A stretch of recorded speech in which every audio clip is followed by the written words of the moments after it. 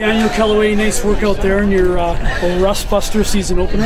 Yeah. The 400. So you were just saying a moment ago you're pretty happy with the 48-41 uh, finish time. Yeah, for sure. I haven't raced yet this year, so that was my first race of the 2016 season. It's the fastest opener I've ever had before, so I think it's a good sign that training's been going well. I think this season will go for for sure.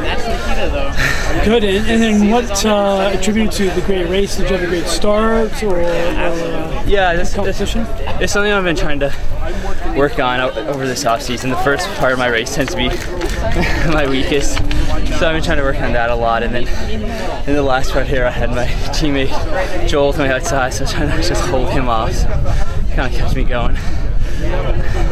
Good. And the weather's uh, pretty good for Yeah, it's not, it's not too bad. The sun started to come out right before the race, which is a good sign, and not too too windy, so think it's a good day for it. Yeah, yeah. So you're a third year uh, SFU student. Yeah, All right. And uh, what's your pro- what program are you involved in? uh, Earth Science. First science. Yeah.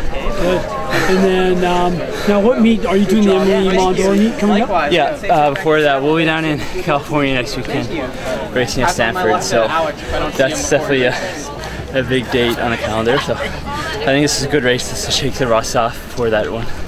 Yeah. And now that you've run 48-41 as an opener, what are you hoping for uh, next week in uh, California? Uh, it'd be nice to dip under 48. It'd be a really nice time to have pretty early in the season, so yeah, hopefully it goes well.